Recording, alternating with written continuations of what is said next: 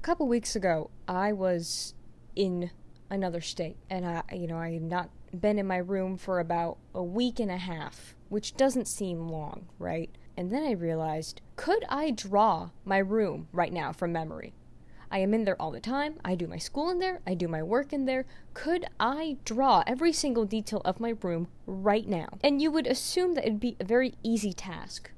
Okay, you could probably even do it. But if you're someone like me who's a subtle maximalist, you've got a lot of knickknacks and you've got a lot of little tiny things that you looked at once in a store, you bought it, you put it up on a shelf, and you haven't dusted that shelf since you bought it. And that was the predicament that I was in. Now, in order to do this, I would need to use some sort of perspective tactic to kind of make sure that we can see the room in its entirety. So I used a two point perspective. Had it had been a long time since I'd used two point perspective, I'm, I'm gonna be so honest right now, I don't use perspective. I raw dog it when I draw. I don't know. The last time I used two point perspective or any point perspective te- technique was like in my first semester of college. And so i suddenly remembered like oh this is what this is what actual artists use. They use you know graphs they use lines something to follow. Um, but i didn't know if i was doing it right. I was kind of like I like I don't know if there's a specific like inch measurement to centimeter of like how far apart the lines are supposed to be from one another, but I just took a Google image, kind of scaled it to what my canvas would be, and I started off. Now I started off with the bed because that's an easy one. I, I that's where I am most of my time. I've got a yellow blanket, a yellow comforter, and on top that a green leaf blanket. Now, I kind of cheated and I did not draw all my friends. Here are all my friends. They're on my bed every night and they are arranged differently depending on the situation, depending on my mood, but they're all here all the time. This is my found family trope, okay? And I love them so much, but I couldn't do it. I decided to just stick with my main guy who I'm always holding when I fall asleep, and that's Jerry the frog. He's really comfortable, and I love him so much. He's. Look. And then, and then, sometimes he'll flip over and he'll hold me like this, and then. It's like really romantic. Anyway, oh. Honestly, 21 is not that old to be bringing a Build-A-Bear on the plane. It's not a crazy idea. I'm not different or new for this for this uh, concept, okay? And of course, because he's bright green, you know, he sticks out of the crowd. He, he's very uh, unique. There was a time I was waiting in TSA and I was holding my frog. Someone came up to me in the line and they recognized me, but you know, listen, I don't think I show Jerry a lot. I don't think he's like a, a main character. He's not like a part of like the core cast of the, you know, Aisha Rae cinematic universe.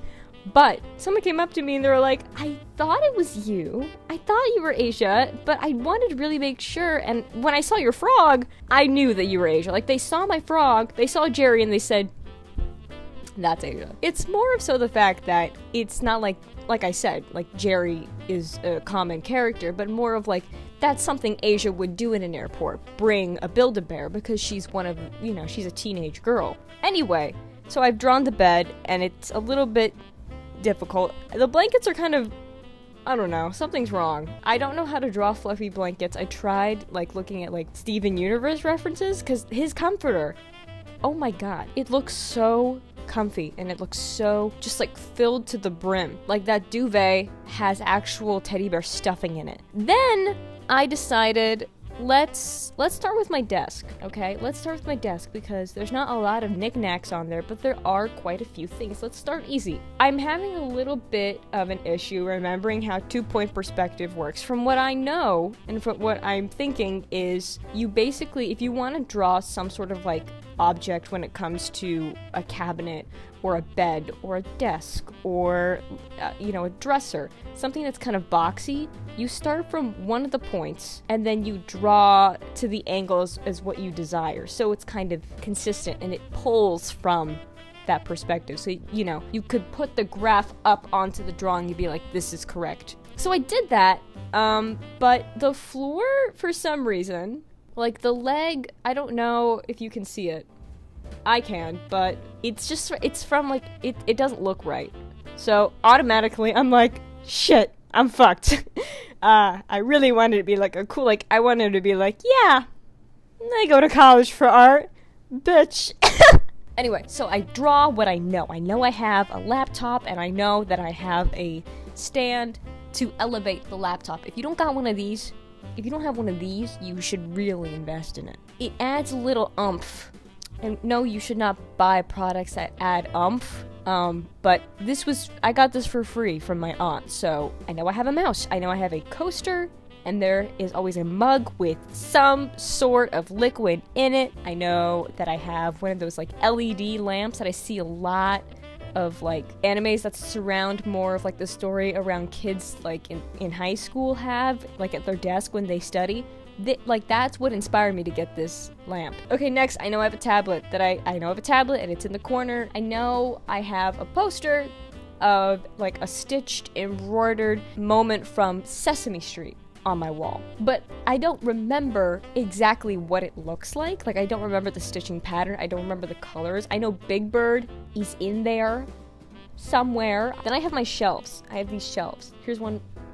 Here, here's one right here. Now, this is where all my fun trinkets are on. This is the difficult part. And it wasn't even like the trinkets that were the difficult part, but once again, the two point perspective shit of figuring out, well, essentially how thick this is, how wide this is gonna be. The two point perspective isn't just like you're standing in the corner of the room, but you're a little bit lower, so you kind of have to see the underneath. I've got a lumbar supportive work chair and a footrest so my knees are equal to my hips and I don't get lower back pain. Strap me into a wheelchair. Take me somewhere. Far away. Anyway, I have a cart here which I'm resting you on right now. And this is this is truly where a lot of like miscellaneous junk, shit, crap, fucking anything you can imagine is here. Like I'm looking at it right now, and if I close my eyes, I could not see it in my head. And at this point, I only could think of like four things books that I have, which you are currently, you know, standing on, a plant, a lamp, and a cup with a bunch of like soap carving tools. When's the last time I carved soap? Three years ago. Now we move on to my bookshelf, my book cabinet, if you will. And then we'll, we also move on to three separate shelves with rope supporting them that hovers on top. Now, I had a fucking time with this. Once again, the curse of the two point perspective. You'd think it would be an aid, but if anything, it is a hindrance. The shelves are way thinner. I, I had a really fucking hard time with parallel lines. Let's just say that the window next to it is not e- like the proportions are so wrong. I could never be a painter. I can never be a background artist. I don't know how people. I will see people on Twitter and they're like, "Hi," like it's like portfolio day. Hi, my name is Adeline, and I love doing BG paint backgrounds. You fucking liar. You you son of a bitch. What are you talking about? What is so enjoyable about this? Pro- is it the symmetry that you like? Um. Well, this is where I come to start to disappoint you. So I start to do the line art, but unfortunately, the um, the size of the canvas was making the brush that I had chosen to do the line art in very pixelated. So I'd alternate between three different brushes to find the one that was right for me. I then did the shelf, and then I realized that okay, we should probably figure out how Big Bird fits into this whole poster on the right side of the wall. I didn't get very far. I did Big Bird, one tree, and one line that represents where the building stops. So that was kind of what started me off into realizing, not realizing it, but more of like subconsciously, I was like, if I skip this detail, if I skip one of the easiest things, because like I see that fucking poster every day of my life, it is my favorite thing in the world. If I can't figure out that right now, how am I going to figure out the little fun figurines and all my little guys that are on my shelves that I had not looked twice at in the past year that I have seen and put them up there. Someone's gonna take my drawing, stitch this, put it on TikTok, and be like, this is where you fucked up. This is where, you know who it's gonna be? A 17 year old CalArt student. The bed was not as uh, voluptuous as I wanted it to be, and I had kind of trouble figuring out how the leaf fell onto the bed. At this point, I was like, I need a reference photo. I can't keep you know, using my imagination and assuming what it looks like on the bed. So I pulled up a reference photo. I, st- I still, it still didn't help me. You want to know what the proudest, like, I am of what section I'm. The- you want to know what the proudest thing I am? Do you want to know what the proudest thing I am? Do you want to know what the. It's getting to a point where I can't speak my first language and my only language. Do you want to know what the proudest thing I oh my how do the proudest thing I am of? do you want to know what I am most proud of in this drawing? There we go. It's the fucking books.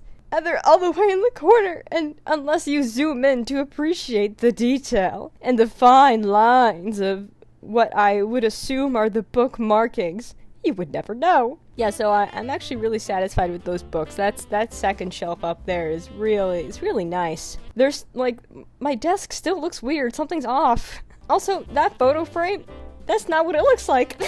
Who would have a photo frame of clouds next to them? Here's the thing. When it comes to like background artists and like how they kind of draw smaller details. It's not like extremely tiny details, but more of the outline of the detail. Like when I would watch Star vs. the Forces of Evil and I'd see like a, a, book of shelves, they didn't draw every single book individually, but they painted one streak and just like did a bunch of lines. It's more of like the concept of the fact that, oh, if you first glance, it looks like a, a book of, you know, a book of shelves. Oh wow. A book of shelves and I said it earlier and I didn't catch myself. A shelf of books. I wish that little wine down there wasn't empty. I could really drink away my problems, but I guess this will have to do. My shelf of books. Fuck. but then, but then there's Steven Universe, and they draw every single book individually. The rug.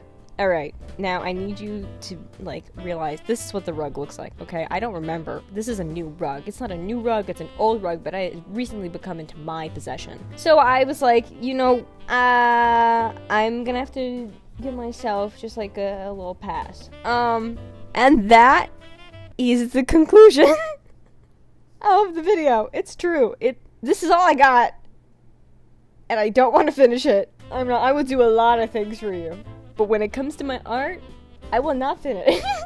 anyway, thank you for watching. I'm sorry if you're sad and you're like, wait, but I wanted to see it colored in. Screenshot it, import it into PicsArt, and do it yourself. Because it's not coming out of my ass. I'm I'm I'm done. I'm going to bed. Good night.